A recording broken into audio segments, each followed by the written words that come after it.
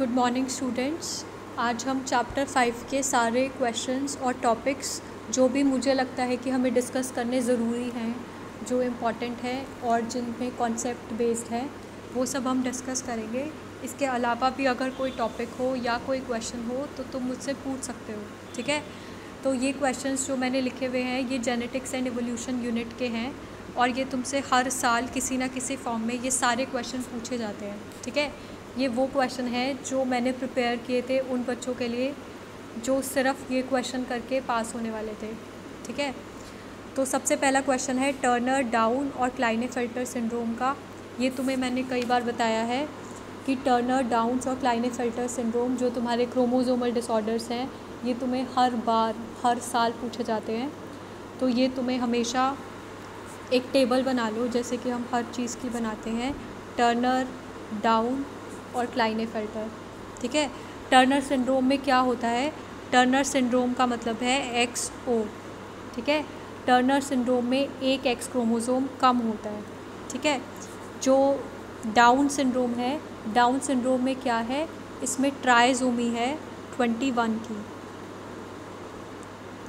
और क्लाइने filter syndrome में क्या है? एक्स एक्स वाई इसमें एडिशनल कॉपी है एक्स क्रोमोज़ोम की। मेल के अंदर, ठीक है? तो पहले ये टेबल बना लो, इसके बाद तुम इसको याद करने के लिए इसी चीज़ से याद कर लो, इसी टेबल में लिख लो या तो कि कैसे याद करोगे। तो जो टर्नर सिंड्रोम है, क्योंकि वो उसमें टर्न हो जाती है तो जो फीमेल है, क्योंकि उसमें एक एक्स क्रोमोसोम कम है तो वो कैसी हो जाएगी? फ़ीमेल है, वो स्टराइल हो जाएगी। उसकी जो ओवरीज़ हैं, वो डीजनरेट हो जाएँगी। ठीक है? और उसमें सेकेंडरी सेक्सुअल करेक्टर्स जितने भी डेवलप होते हैं, जैसे वॉइस जैसे जो भी फ़िज़िकल डेवलपमेंट होती है, वो सब की सब इसमें क्या होती है? रुक जाती है, ठीक है? स्टंटेड डेवलपमेंट होती है। ये टर्नर सिंड्रोम एक्स ओ होता है, इसमें फ़ीमेल्स जो हैं, वो कम होती हैं, ठीक है? टर्न हो जाती हैं, वो स्टेराइल बन जाती हैं, क्योंकि एक एक्स कम है। इसके बाद डाउन सिंड्रोम है, इसके नाम में डाउन इसलिए है, क्योंकि इसमें ट्राइजोमी है, ठीक है? तो नाम को बैलेंस रखने के लिए डाउन कर दिया है। तो ट्राइजोमी ट्वेंटी वन की है और ट्वेंटी वन एक ओटोजोम है। ठीक है? इसके अंदर क्या क्या होता है? इसके अंदर जो इंडिविजुअल होता है, उसका बहुत शॉर्ट हेड होता है। ठीक है? और वो बहुत बड़ा है, लेकिन उसका हेड बहुत शॉर्ट है।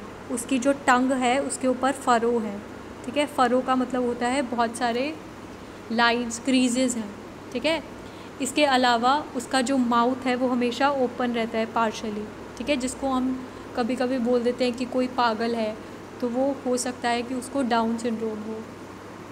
और उसकी जो पाम होती है, जो पाम की क्रीज़ होती है, जो हमारी हाथ की रेखाएँ जिसे हम कहते हैं, वो करेक्टरिस्टिक होती है, ठीक है? वो एक अलग टाइप की क्रीज़ है, जो सिर्फ़ डाउन सिंड्रोम वाले लोगों में ही पाई जाती है।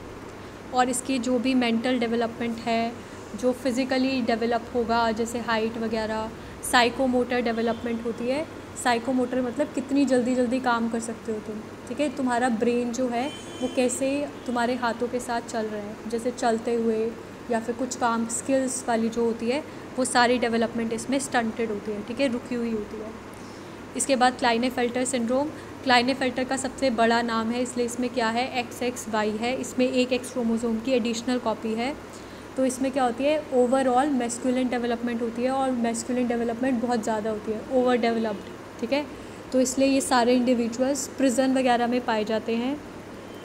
इसमें क्या होता है? बहुत एग्रेसिव होते हैं स्टेराइल होते हैं और इसमें एक स्पेशल फीचर होता है गायनेकोमेस्टिया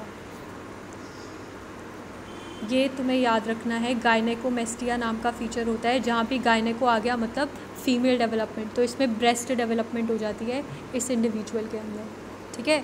समझ में आ गई ये तीनों? तो ये सब तुम लिख कर और इसके नोट्स बनाओ।